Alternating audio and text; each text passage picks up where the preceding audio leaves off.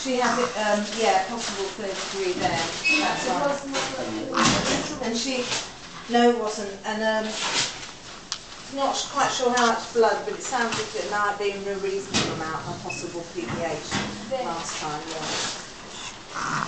Bit, um, bit unsure.